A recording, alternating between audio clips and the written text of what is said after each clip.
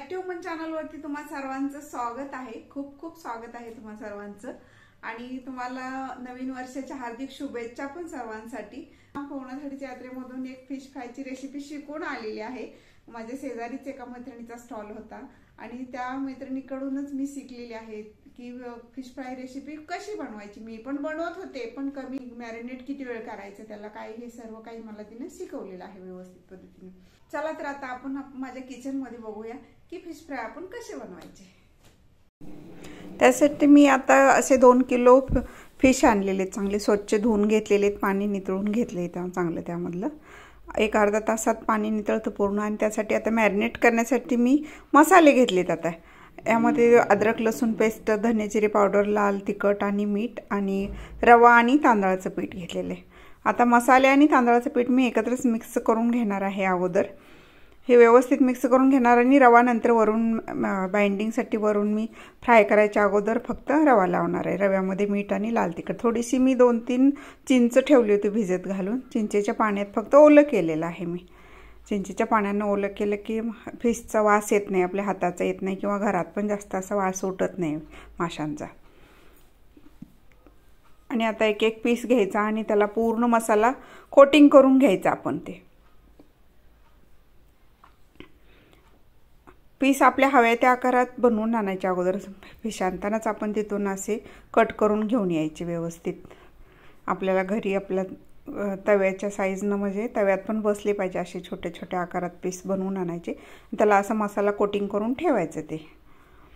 ह्याला एक अर्धा तासाचंच ठेवून द्यायचं हे. तुमच्याकडं पंधरा मिनिट वेळ असेल तरी ठेवलं तरी चालेल किंवा जास्तीत जास्त अर्धा तास ठेवून द्यायचं. आता पूर्ण त्याला अद्रक लसूण मिठामुळे त्याला पाणी सुटलं जातं आणि रव्यामध्ये मीठ आणि लाल तिखट घालून घ्यायचं. थोडासा गरम मसाला असेल तर वा वापरा. तुम्हाला स्पायसी असे पाय स्पायसी पाहिजे असेल तर गरम मसाला वापरा. आता त्यासाठी तवा घेऊन घ्यायचा. आपण गरम करून घ्यायचा तवा. तुमच्या घरात जो असेल तो करून घ्या आणि तो तवा गरम होते तोपर्यंत असं आपण र फिशला सगळा रवा कोट करून घ्यायचा. तवा आता गरम झाला आपला तेल टाकून घेऊ आणि असं साईडने ठेवून द्यायचा. तवा मोठाच वापरायचा. आणि कोमट तेल असं फिशवरती टाकून घ्यायचं किंवा उलट पालट असं दोन वेळा करून घ्यायचं तव्यामध्ये टाकले फिश की. खूप कमी कुकिंग प्रोसेस आहे ह्याची. खूप कमी वेळ लागतो शिजण्यासाठी पण फिशला. खूप कमी वेळात मग असे फ्राय होतात हे. अगदी कडक होतात. तवा गरम करून घ्यायचा आणि नंतर असा मीडियम टू लोमध्ये ठेवून द्यायचा नंतरच्या वेळेस. पहिल्यांदा तवा चांगला गरम करून घ्यायचा. कडक गरम करायचा अगदी. आणि असे कडक कडक फिश आपले फ्राय होतात असे. जास्त अगदी तेलात तुम्हाला तळून हवे असतील तर तसे पण बनवता येतात. पण हे मला ही योग्य पद्धत वाटली. एवढा मी तिथं फिश फ्रायचे स्टॉल पाहिले. त्याच्यात मग सर्व फिश म्हणजे तळणारे पण होते तिथं तळून देणारे विकणारे पण होते. पण मला त्या सर्वांपेक्षा मला ही पद्धत कमी तेलातली आवडली. त्यामुळं मी या पद्धतीचे बनवून पाहिले अगोदर. आणि आता मी तुमच्याशी रेसिपी शेअर करत आहे. खूप महाग पण होतं तिथं. एक बांगडा शंभर रुपयेपर्यंत होता असं या पद्धतीनं फिश फ्राय करून विकणाऱ्यांचं. म्हणजे वेगवेगळी किंमत आपल्या माशाच्या प्रकारानुसार किंमत होती तिथं. आणि हेच आपण घरी बनवून सुद्धा खाऊ शक काही वेळ लागत नाही. फक्त फिश आणणे स्वच्छ धुणे नितळणे आणि मसाले बन जास्त मसाले पण लागत नाही तसे चिकन मटनसारखे फिशसाठी फक्त त्या योग्य पद्धतीने आपल्याला भाजता आले पाहिजेत ते व्यवस्थित.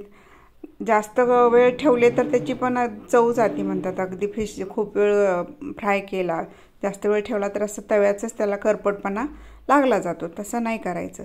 त्यामुळं असं मीडियम टू लो गॅसवरतीच हे उलट पालट करून घ्यायचं. त्यामुळं रवा पण वरून जळला जात नाही तेल पण जळलं जात नाही अगदी धूर धूर पण होत नाही आहे ह्याची फक्त आपण काळजी घ्यायची. आता आपले सगळे फिश फ्राय होऊन झालेत आता एकदा काढून घेतलेत आपले. अगदी अगदी मॅरिनेट करून झालेले फिश असले की फ्राय करण्यासाठी खूप कमी वेळ लागतो. अशा प्रकारे तुम्ही फिश फ्रायची रेसिपी नक्की करून बघा. आणि असेच नवनवीन व्हिडिओ पाहण्यासाठी ॲक्टिव्ह मन चॅनलला लाईक शेअर आणि सबस्क्राईब करा. व्हिडिओ पाहिल्याबद्दल तुम्हा सर्वांचे धन्यवाद. माझी रेसिपी कशी वाटली ते कमेंटमध्ये नक्की कळवा.